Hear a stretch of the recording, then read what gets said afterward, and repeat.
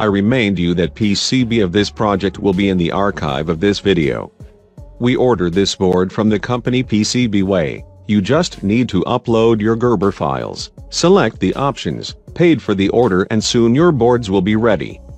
The company also offers advanced PCB with many privileges, you should try it.